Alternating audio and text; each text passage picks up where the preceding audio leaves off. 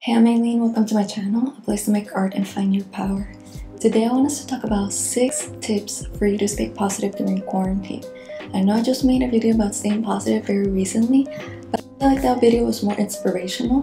Today, I want to give you concrete steps for you to use on a day to day basis so that you can stay positive during quarantine and anytime, really. Let's get started.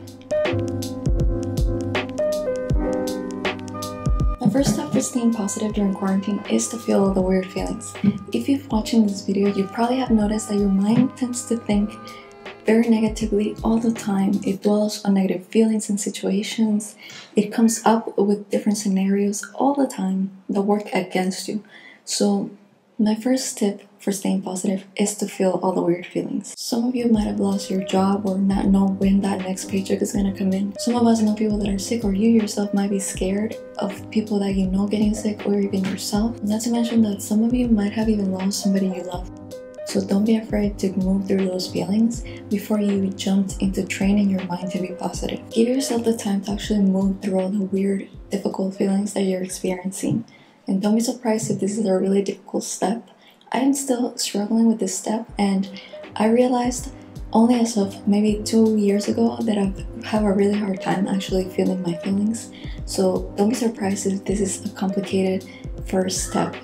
And I actually might want to make a video about this. So if this is a topic that interests you, let me know in the comments and I'll make that video for you.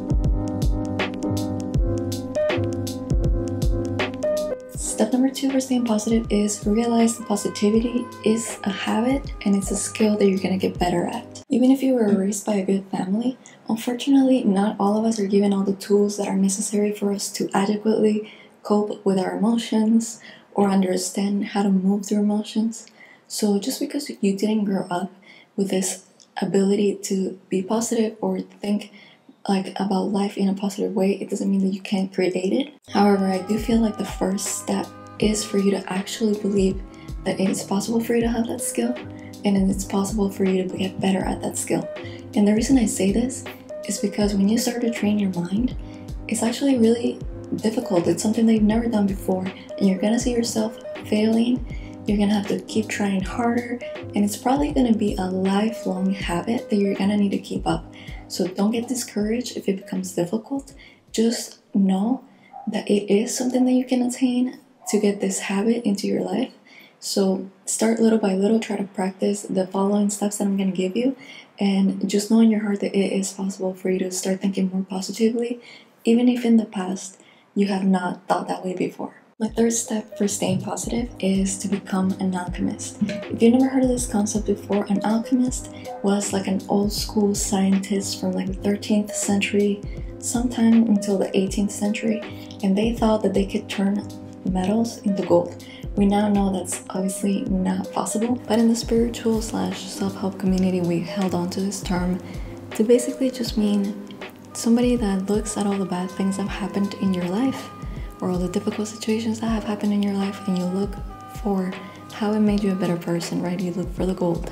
And the way that you become an alchemist and you start to train your mind to be a more positive person is just to look back at all the difficult times you've gone through in your life and just start thinking to yourself, how did that make you a better person? What skills did you gain? What lessons did you learn? What will you do differently in the future? My fourth tip for staying positive is very similar to number three. It's to start seeing the good in everything. And that includes things that don't happen to you. In every situation that you're at, every moment, you can start to ask yourself what is actually going well for other people or for yourself, or at the very minimum, like what didn't go wrong in this situation. And again, it's just another skill for you to actually train your brain to, once you've moved through the uncomfortable feelings, focus your mind on looking for positivity, looking for how to remain in a positive state of mind. Again, don't ignore your negative feelings, move past them, and then refocus your mind. My fifth tip for staying positive is to start a gratitude practice. Now, this can look very different from person to person. If you're a morning person, maybe you want to include in your routine after you wake up, maybe you want to make a list of all the things that you're grateful for that happened the day before, or you know, maybe you want to do it once a week, or the opposite, maybe you want to do it at night. What things went well that day? What are you grateful for? And that's just gonna train your mind to see all the abundance, all the good things you have going on in your life. Again, just another tool for you to train your mind to once you've moved through the difficult feelings, okay, now that you've felt the feelings, like what is actually going well. For me, these last three strategies are very important because it's actually very easy to dwell on the negative and not only just yourself in your own head, but it's very easy to connect with other people when you're venting, when you're talking about all the things that went wrong. For some reason, it's so easy for other people to join in. People that will stop you from going down a negativity spiral are actually very rare.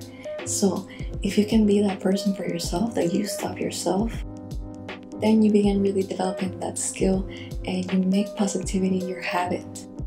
My sixth tip for staying positive and my last one is to have a go to playlist or activities, books, movies, shows, things outside yourself that are to create feelings of positivity, of happiness. Like, especially right now, it's to be very difficult if you're going through something that is extremely difficult. Of course, it's very hard to just make yourself happy. Like, it's not gonna happen. But how can you start to create those feelings with things that you enjoy? For example, right now for me, I've really been enjoying watching comedies and on a regular basis, I love shows that are like about like criminals and like anti-heroes, like drug lords, Breaking Bad, stuff like that.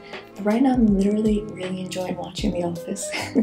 I've never seen it before and it just makes me laugh so hard that I honestly forget all the like negative things that are going through like outside my you know outside our home and there are moments right now that you're gonna need that and especially if you're somebody like me that's very introspective I bet you a lot of the things the media that you consume and enjoy are probably things that make you sad.